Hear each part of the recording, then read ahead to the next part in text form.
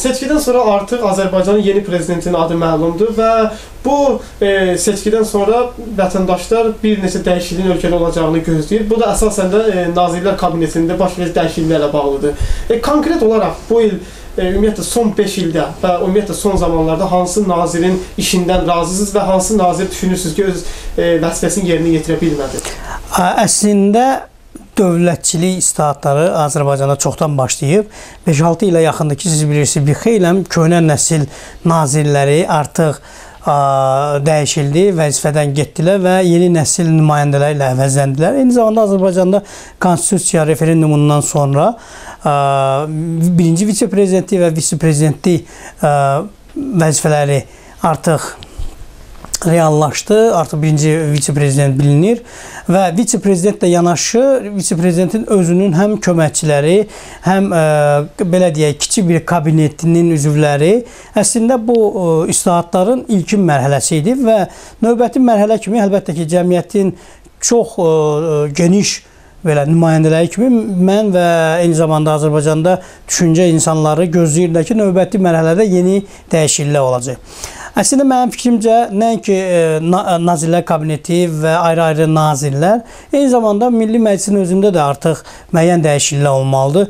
Yəni elə deputat var ki, 22-25 il e, deputat kürsüsünə yapışıb oradan çıxmaq istəmir.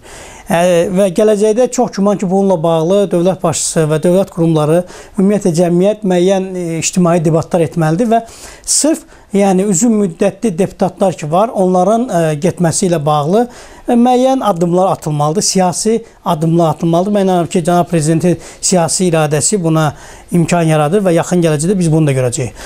Qaldı ki, sizin sualınıza, yəni Azərbaycanda bir çox ə, nazirlərin, ə, yəni mənim bəyənim, bəyənməməyim asılı olmayaraq ə, bu ə, Artur Rəssadə kabinetinin üzvləri idilər və əslində mən onun sırf qəti əleyhinəyəm ki, hansısa bir nazirliyi, dövlət qurumunu onun başında duran, ona rəhbərlik edən şəxsi adına çıxarda. Yəni əgər tutalım hər hansı bir rabitə ə, Nəqliyyat Nazirliyi Ziya Məmmədovadır.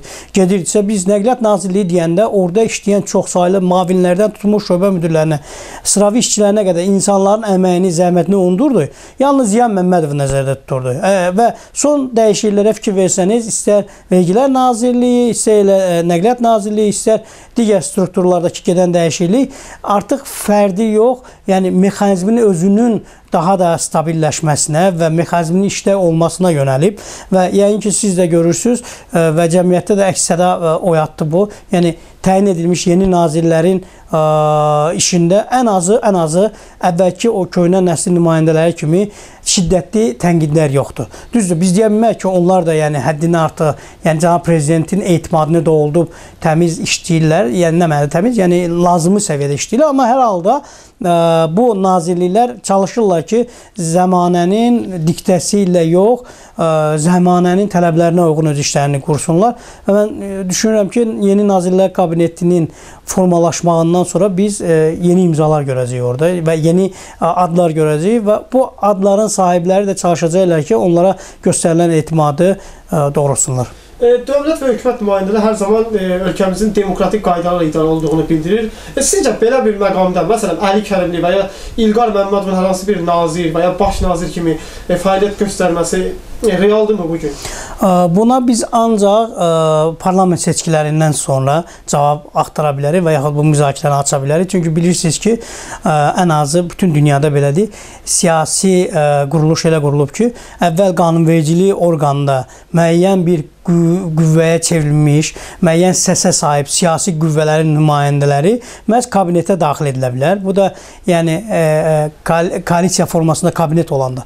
Amma e, fikirləşmirəm ki, Azərbaycanda buna hələ et, yəni ehtiyac da olur. E, tarixi zərurət var. Çünki e, seçkiləri biz gözləməli. Bu bir, ikincisi də bizdə çox qəribə bir e, situasiyadır. Ya həddindən artıq iqtidar müəlli insanlarımız var və cəmiyyət də buna böl, böyük əksəriyyət də buna aiddir.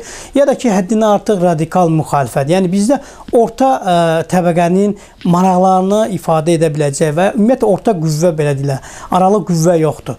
Mən fikirləşirəm ki, gələcəkdə, yəni parlament seçkilərində və ümumiyyətlə qanunvericilikdə dəyişiklik olarsa, ə, Milli Məclisə seçkilər zamanı bunu nəzərə almaq lazımdır və seçkilər də bunu ə, nəzərə almalıdırlar və o mənada niyə də olmasın, gələcəkdə ola bilər, amma sözsüz ki, da ə, müxalifət də radikallığı qırağa qoymalıdır. Çünki qonşu ölkələrdə baş verən hadisələr göstərir ki, radikallıq nə xalqa, nə millətə, nə dövlətə nə isə vermir. E, əldə etdiyimiz məlumata görə yaxın vaxtlarda Novruz Məmmədov e, baş nazirin yerinə təyin olunacaq. Eyni zamanda Gəncə şəhər icra başçısı Elmar Vəliyev də Hacıbala Abtalovun yerinə təyin olunacaq. Sizcə biz e, bu cür e, təcrübəli insanları vəzifədən göndərib yenisini gətirməklə qazanırıq e, və ya uduzuruq? Biz özümüzdən velosiped ixtira edə bilmərik. Yəni bu artıq qəbul olunmuş variantdır ki, ə, seçkili orqanlara ə, hər 5 ildən bir dəyişiklik olmalıdır. Yeni ola bilər ki, şəxs o qədər ə, yaxşı işləyir ki, onu təzədən dəyişməyə ehtiyac yoxdur. Amma bütün dünyada olduğu kimi 5 və yaxud bəzi ölkələrdə 7, bəzi ölkələrdə 4 il müddətinə hansısa vəzifə cəmiyyət tərəfindən, dövlət tərəfindən və yaxud xalq tərəfindən etimad edilir, hansısa şəxslərə həvalə edilir. Novruz Məmmədov artıq kifayət qədər oturmuş bir ə, siyasi xadimdir, dövlətçiliyə müəyyən ə, mənada ə, xidmətləri olan bir şəxsdir. Eyni zamanda Novruz müəllim həm də virtual nəslin nümayəndəsidir. Çünki bilirsiniz ki, o Twitterdən, Facebookdan çox ə, güclü istifadə edir və Azərbaycan məmurları arasında çox az belə insan var ki, sözün həqiqi mənasında Novruz müəllim kimi sinəsini qabağa verib, həm prezidentlə bağlı, həm Azərbaycanla bağlı xarici qüvvələrin bizə qarşı apardığı qara PR qara PR aksiyasında ə, faal iştirak eləsin. Çünki siz özünüz də bilirsiniz, tez-tez Twitterdə və Facebookda Novruz Məmməd çox kəskin bəyanatlar verir. Xalqın içində ifadəsi biraz, yəni formasını dəyişib. Əvvəllər xalqın içində deyəndə elə küçələrdə gedib xalqa qarışma nəzərdə tutulursa və yaxud mitinqdə xalqın yanında olmaq nəzərdə tutulursa, indi bilirsiniz ki, sosial şəbəkələr və virtual aləm, virtual dünyada gedən mübarizə tələb edir ki, məhz ə, internet resurslarında və qlobal informasiya məkanında öz fikrinin mövqeyini ortaya qoyasan. Bu mənada məncə Novruz müəllimin baş nazir kürsüsünə gətirməsi gözləniləndir və əgər o olarsa biz dəstəkləyəcəyik. Təşəkkür edirik.